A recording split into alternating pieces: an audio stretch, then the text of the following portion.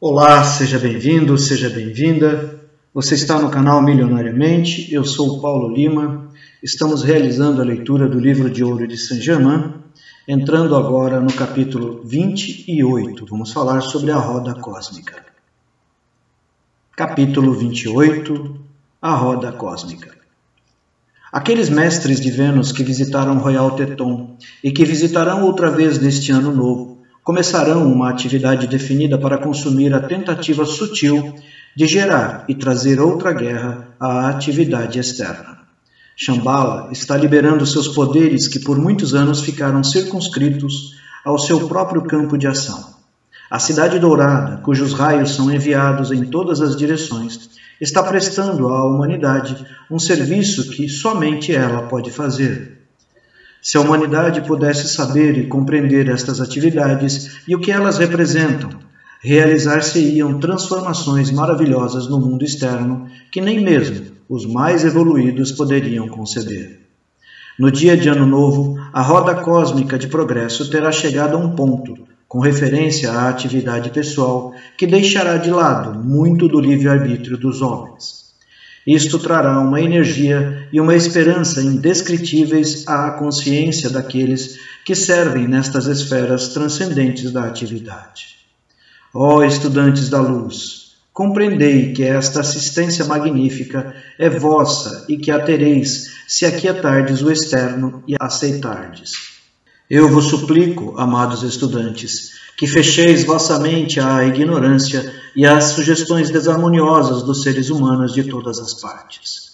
Eu vos digo, a liberdade no mais amplo sentido estará à vossa disposição, somente se mantiverdes a personalidade harmonizada e vos negardes a aceitar as sugestões desequilibradas e sinistras.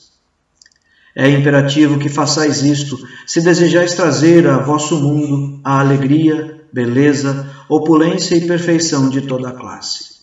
Não é nosso desejo imiscuir-nos em, em vosso livre-arbítrio, porém a alegria inunda nossos corações quando vemos os estudantes agarrando-se fortemente, compreendendo e aplicando leis transcendentes que nós sabemos significarem sua a vitória certa. E deixai-me reiterar o que já disse anteriormente. Não há maior vício na atividade humana do que a personalidade ou a sugestão que trata de afastar o estudante da verdade e da luz que constituem sua libertação. Em conexão com esta poderosa atividade cósmica, deveis trabalhar com grande determinação, consumindo toda a criação desarmoniosa passada e presente. Cada vez que vosso pensamento e desejo se manifestar desta maneira, Grandes correntes de energia virão vos assistir e sustentar, ajudando-vos. Isto faz parte da assistência presente e assombrosa que é dada à Terra. O velador silencioso esperou duzentos mil anos para que a roda cósmica chegasse a este ponto, o ano novo que começa. Novamente vos asseguro que nunca na história da humanidade Tão transcendente atividade foi preparada para se precipitar em vossa ajuda. Ó oh, amados estudantes, não vale a pena todo esse esforço determinado para atuar de acordo com esta grande bênção que torna tão mais dócil, mais fácil vossa luta pela libertação de autocriações humanas? Amados estudantes, meu coração se regozija profundamente ao ver dentro de vós um desejo intenso pela luz e um esforço determinado para aplicar estas leis infalíveis, que seguramente vos darão a liberdade na medida que a apliqueis. Agradeço-vos por este alegre empenho de distribuição ilimitada de livros. Há nesse desejo, amados meus, um serviço de grande bênção que vós podeis compreender muito pouco. Sinto-me muito abençoado neste dia de devoção ao Cristo, ao sentir o amor que enviais a mim, e eu vos asseguro, bem-aventurados, que regressarei a vós dirigindo todo esse poder amoroso para vos assistir, vos iluminar e abençoar. Nesse serviço especial que Jesus decidiu fazer, vós sois agraciados, sem dúvida. Experimentai sentir esta verdade maravilhosa com o sentimento mais profundo e intenso que possais ordenar. Abri vossos braços, coração e mente à glória desta radiação E à medida que fizerdes isto, de uma maneira plena e completa, vereis que rapidamente desaparecerão as condições perturbadoras e limitadoras existentes a vosso redor. Eu vos suplico, amados estudantes, que não continueis limitando-vos por conceitos humanos. Decretai e senti vossa assombrosa habilidade em usar estas leis e dirigir esta poderosa energia para vossa liberdade e perfeição.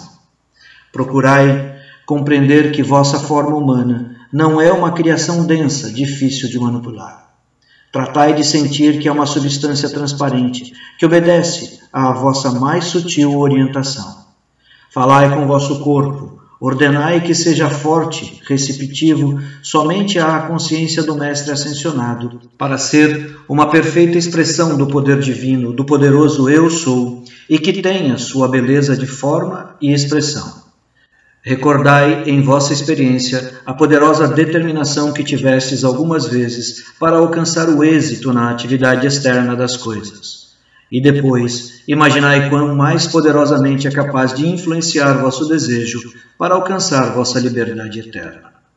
Acreditai-me, amados, quando eu vos digo: vossa criação humana é a única que está entre vós e a liberdade de toda a limitação. Essa criação não será um obstáculo maior do que aquele que admitis ser. Se não derdes a essa criação o poder de limitar-vos a qualquer dia ou a qualquer hora, podereis entrar jubilosamente através do véu no mundo da presença eletrônica, tão belo, tão alegre, tão cheio de deslumbrante luz de sua gloriosa presença, e mover-vos ali para sempre, na luz da glória eterna. Depois, quando voltardes através do véu humano para servir na atividade exterior, continuareis sentindo a glória desse ser transcendente que sois.